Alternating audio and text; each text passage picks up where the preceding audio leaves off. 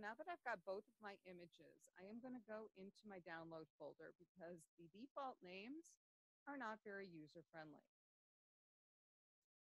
So let me go down here. Select downloads. And this is by default where Chrome downloads files. So I don't know what browser you are using, but you're going to have to find where your files go by default. And I'm going to rename these. And so this one is my waterfall. So I'm going to call it waterfall at sunset.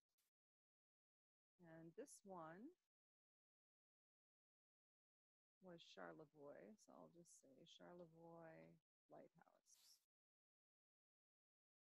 Now that I've got both of these renamed, I'm going to have one selected, press control and click, and that will highlight both. And then what I'm going to do is copy these and I'm going to paste them right into that lesson three media folder. I'm going to right click, I'm going to go down to copy. And now I need to navigate to my lesson three folder. I'm going to open up CIT 180, lesson three. Going to open up media because that's where I want them to go. And now I'm going to right click and I'm going to paste them right in here.